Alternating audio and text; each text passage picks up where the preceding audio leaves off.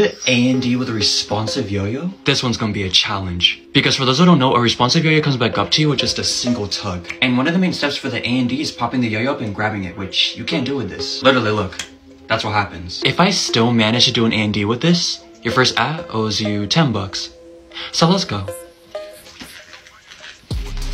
I'm a hacker.